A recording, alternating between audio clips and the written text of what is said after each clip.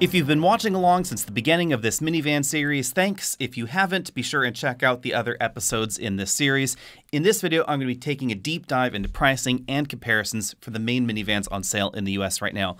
Let's just dive right into the numbers. Obviously, the cheapest minivan in America right now is going to be the Chrysler Voyager at $27,860. The Voyager is not quite, but kind of sort of the pre refresh Chrysler Pacifica but with a few tweaks on the outside. So it's not exactly the previous model, but definitely is in that vein. It doesn't get all of the same kind of content that we find in the Pacifica. It doesn't get all the same kind of standard features, functions, etc. And very little options are available in that particular model. Keep that in mind. The most expensive minivan starting in this segment is going to be the other end in the Chrysler lineup, the Chrysler Pacifica plug-in hybrid. But keep in mind that that particular model can qualify people for a federal tax credit. A little bit more on that later. The Kia Carnival is right in the middle at $32,100. But more important than just base pricing here is how much it will cost to get key features in each minivan. Let's start out by talking about features that I think a lot of shoppers are going to be interested in, especially in a family focused vehicle like this. Features like autonomous emergency braking to make sure that you don't rear end the car in front of you, blind spot monitoring to make sure you don't sideswipe anybody, rear cross traffic detection, parking sensors in the back. Remember that minivans are pretty big, they're pretty square. It's really easy to start bopping things in the rear. And I have noticed that when you take a look out in mall parking lots across the country, minivans that have rear parking sensors, in addition to parking cameras, because backup cameras are now standard across the line here, but parking sensors help increase the safety because a lot of people, when they're backing up and they're just flustered or busy or whatever, they don't necessarily look down there at the backup camera. They think they've got it, they back up, and that extra audible information definitely keeps them from bopping things. I challenge you to walk through a mall parking lot one day, look and see how many cars out there have some bumper rash on the back and how many have bumper rash and parking sensors, that number is relatively low. And then, of course, radar adaptive cruise control because that is a feature that I absolutely love for long car trips. First up, we have the Chrysler Voyager, $28,755, about $1,000 over the base price, gets you most of the gadgets that I just talked about except for adaptive cruise control. Next up, we have the Pacifica itself. $35,820 gets you all of that because that is standard on the Pacifica. That is actually its base price. The Carnival, $32,100 comes with standard autonomous emergency braking. $37,600 is where you find adaptive cruise control. Things are a little bit different with Toyota's Sienna because Toyota has decided to make adaptive cruise control standard across their entire lineup. So the base price gets you adaptive cruise control, but you don't get parking sensors for some reason in that base price. You have to get up to $39,750 to get all of the gadgets and gizmos that I've talked about here.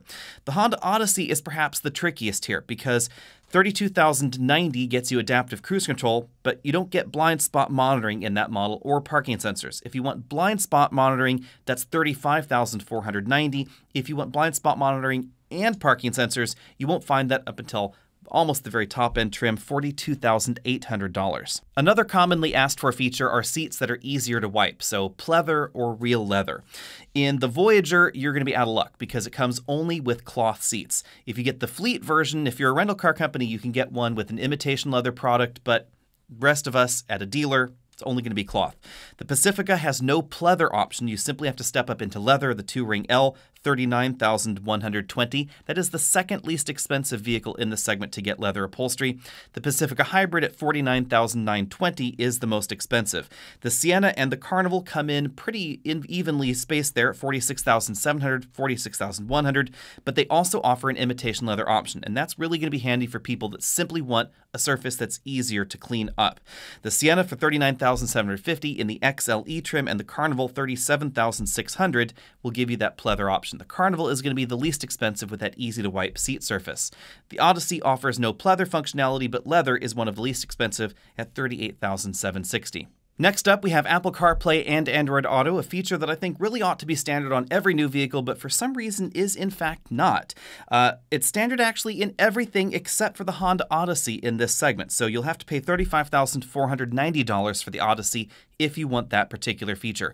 One thing that you'll really notice is that due to its age, the Odyssey has a lot of features optional in the lineup that you might assume should be standard or are standard in the competition. Be sure and let me know what you think about that feature down there in the comments section below.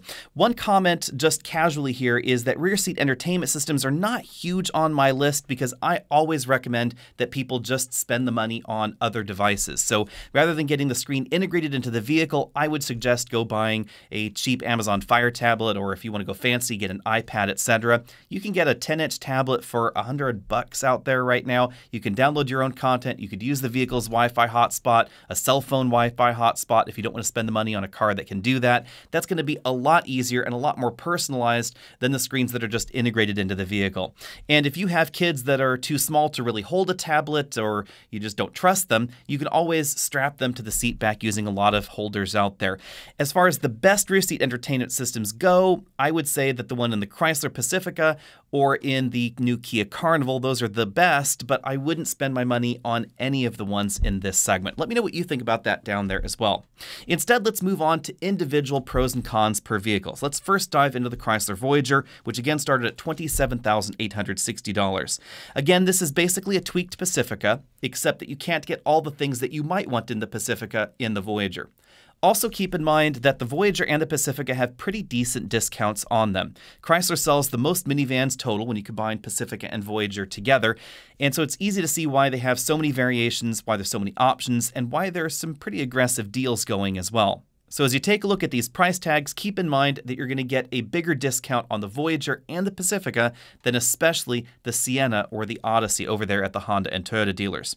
Now on the Pro side, we have that very low sticker price, lots of standard equipment except for adaptive cruise control. We have the stow and go second row seats, which I think are super, super handy.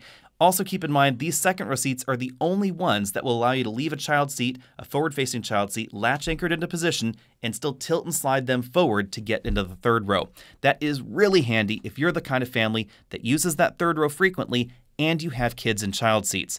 Now, it will only work as long as they're within the weight limits for the latch anchor, but for a lot of folks, that is going to be an absolute lifesaver. Now, on the downside, the second row seats are not as comfortable as some of the second row seats in other minivans, but they do fold flat into the floor. And personally, I think that I would be willing to sacrifice a little bit of comfort for that improved functionality. We also have one of the most comfortable third rows in this segment. When you take a look at headroom figures, it doesn't tell the entire story. The Pacifica has a squarer third row area, and based on the way that headroom is measured, it doesn't always accurately indicate how people will fit in the third row. The Pacifica and the Voyager have a little bit less combined legroom than some of the competition, but third row room is absolutely excellent. Now, on the con side, we have limited options. If you want to buy the extra options, you're going to have to get the Pacifica.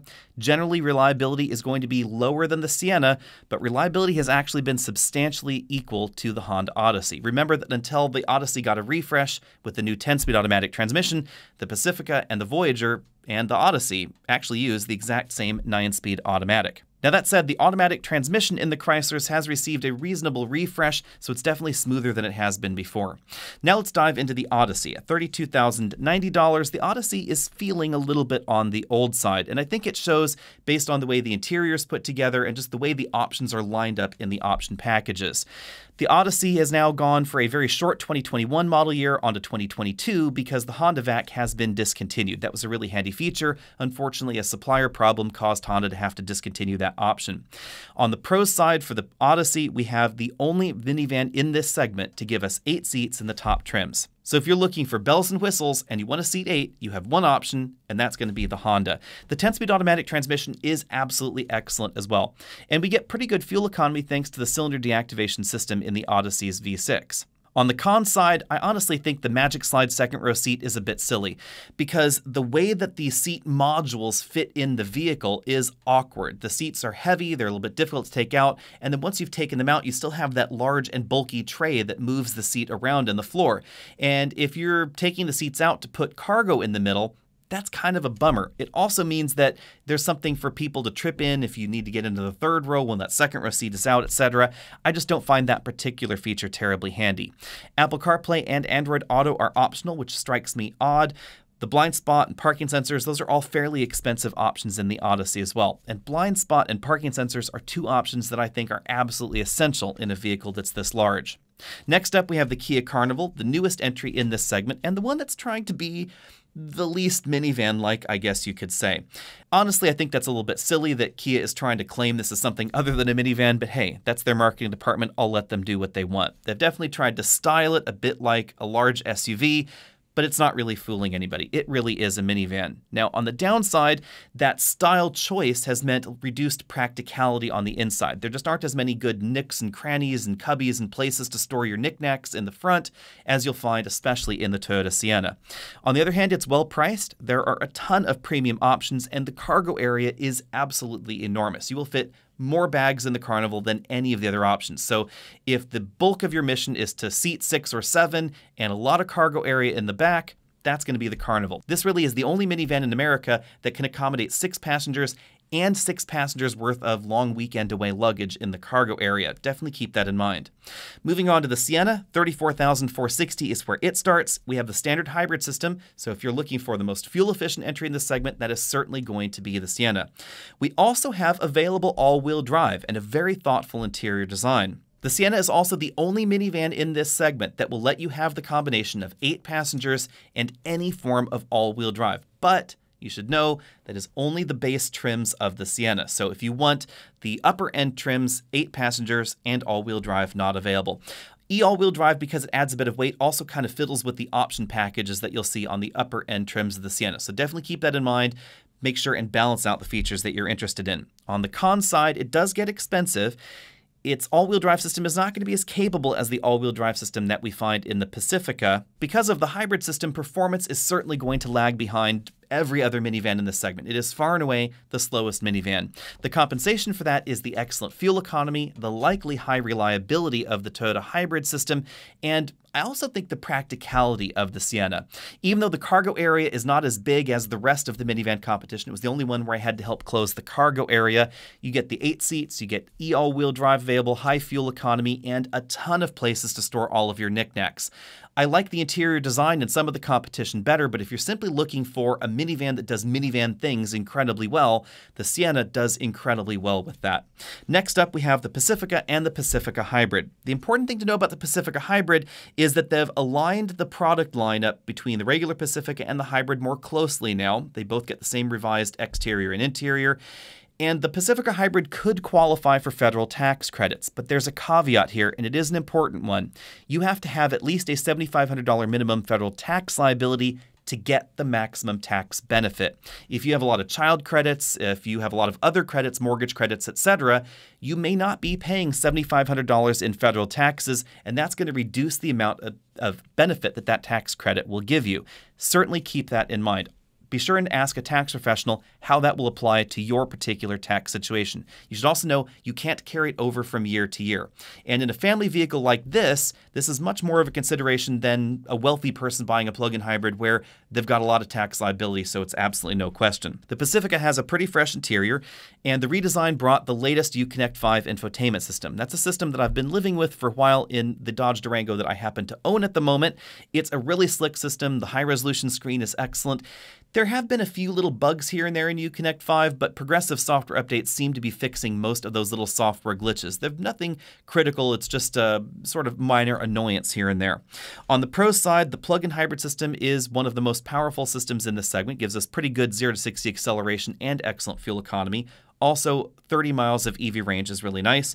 The second row stow and go is a feature that you'll find in the regular Pacifica, even with all-wheel drive in that model, but you won't find in the plug-in hybrid because that's where the battery goes. We have that big roomy third row and the only true mechanical all-wheel drive system available in the minivan segment. If you're really worried about winter traction in your minivan, the Pacifica is probably going to be the option for you. On the con side, the MSRP is higher than some of the others because of the standard feature content, although keep in mind, discounts are going to be more aggressive, but we're simply talking MSRP here. The other problem, no all-wheel drive with eight seats. That strikes me odd, but it likely has to do with the curb weight of the vehicle with the all-wheel drive system on board. Also, no hybrid and eight seats. So if you want an 8 seat Pacifica, it's going to be regular front wheel drive only. If you want all wheel drive, you have to delete that one. If you want the hybrid system, you have to delete that one as well.